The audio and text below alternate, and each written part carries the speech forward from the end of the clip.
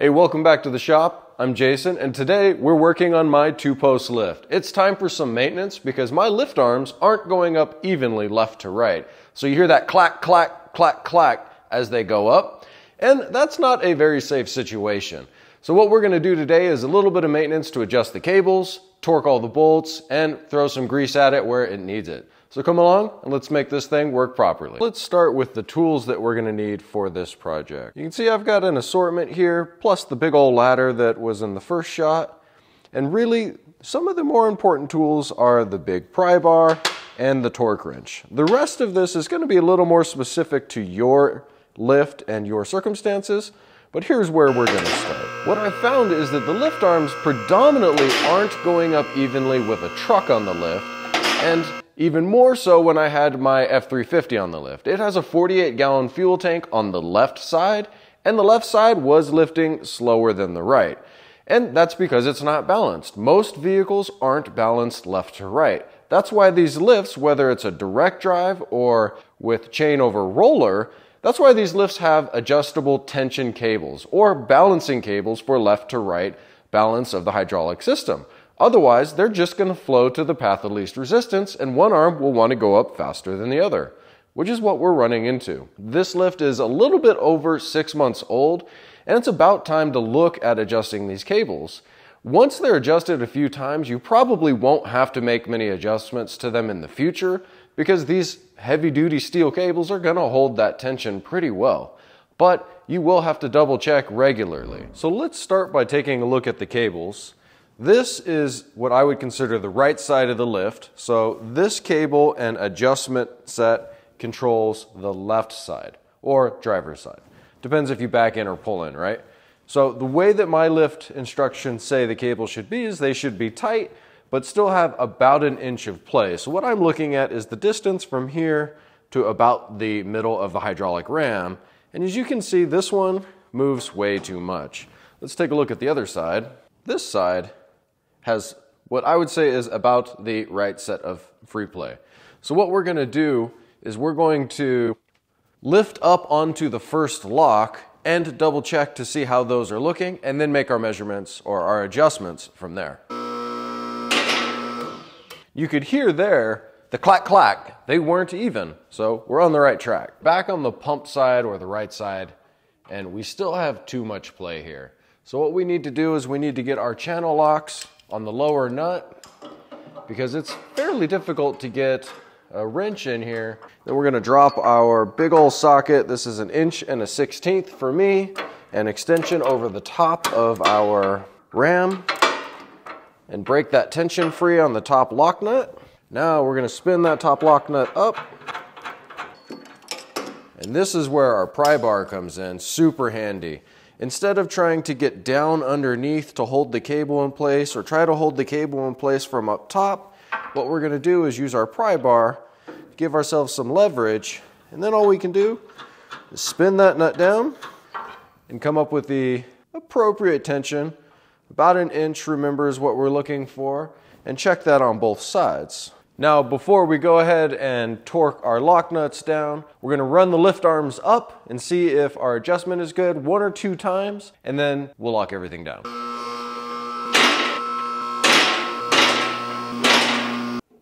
Coming down without a load, this takes a while.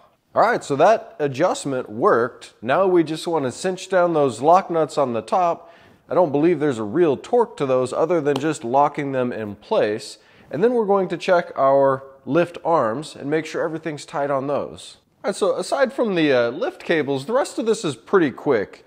What are we checking on the lift arms? Well, if you go to pull one of these arms out, you really don't want this guy slipping off.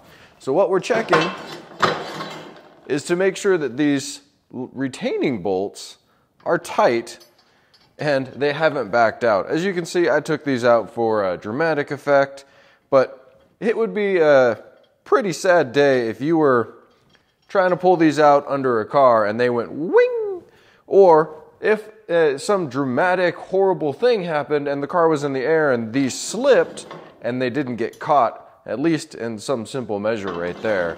I don't know that it would stop the car from falling if you did something stupid that the laws of physics took over, but these guys are just a good safety measure so that it's not gonna pop out. Now let's get the lift up a little bit further. We'll grease up the trolleys or carriages or arm holders or whatever these big things are called. But before we grease up the uh, carriages, I have a message from today's sponsor. Well, you guys. Because without you watching these videos, I wouldn't have the views and I wouldn't be able to continue on. So, thank you. These don't take much grease. You can see there, I just threw a little into the corners and in here you can't really see on the inside. The nylon rollers or sliders, you can see a little bit right there, they're not under any tension, so they're just moving along gently in there. The next grease points would be our locks, so I like to throw a little bit of grease on here and on our pivot pins so that our arms rotate nice and free. Then on your Adjustment points at the ends, I throw a little WD-40, that way I'm not getting grease on anything out there at the end. Down on the bottom where the ram is, I like to keep the base clean so that when the seal comes down, it's not picking up a bunch of dirt and so that I can tell if there's anything leaking or awkward going on at the bottom. On the sides, you want to pop your covers off. I, I pulled the screws loose on this already. And just double check that you have good adequate tension on your lock cable so that when you go to release it, it's going to release on both sides. You don't accidentally get one getting stuck and then the car tilting and you freaking out and then it flipping over and then everybody running for the hills. You know, that would be horrible. While you're raising the lift up is a good opportunity to check your over height switch or your limiter switch at the top to make sure that you're not going to crush the roof of a taller vehicle That works nicely. And while you're checking switches, I have a emergency cutoff here. That way, if I'm right here, something were to short out, I can easily pull this switch because my breaker is outside. While you have the lift arms up out of the way, take your torque wrench and depending on the bolt size that you have in your concrete, 90 to 100 foot-pounds, that's what mine's rated for. Double check that your anchors are torqued down too. Those are probably some of the more important bolts on this whole setup because you don't want this falling over or ripping out of your concrete. Now that we have all of our groundwork done, it's time to grab our last uh, socket and wrench, climb up the ladder, and make sure that our bolts up at the top of our crossbar are nice and tight. You can see these are our bolts up top to the crossbar that runs across. And for me, there are two on either side. And while you're up here, take the time to take a look at your cable run all the way across and make sure that there's nothing chafing or rubbing, jammed, stuck, or otherwise. All right, we're wrapping up quick. Our last check on the lift is our actual pump assembly and fluid level. So let's take a look at what we got going on here. My unit specifically calls for an oil change once a year, I don't know that that's going to be totally relevant for me as I'm not using it in a commercial setting.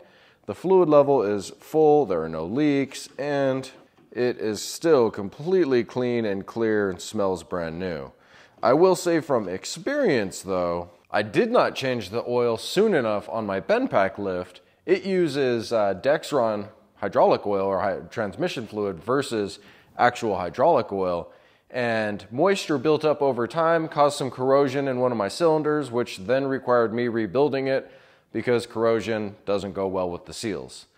Either way, take a look at your fluid, make sure that it's topped off, that it isn't um, discoloring or changing in any way, and change it at whatever interval works for you. Hey, I hope that you got something useful out of this video, even just one tidbit, adjusting the cables, or maybe, uh, I don't know, any little bit of it to help keep you safe using a lift at home. I know that we tend to feel pretty comfortable when we have these tools, but these are things that if you forget to do, they can be really dangerous. Once again, thanks for watching. Drop a comment below if you do other things to maintain your lift and keep it operationally safe. And take a look at one of these videos up top. Like, subscribe, do all those things. I look forward to seeing you on the next video. Have a good one.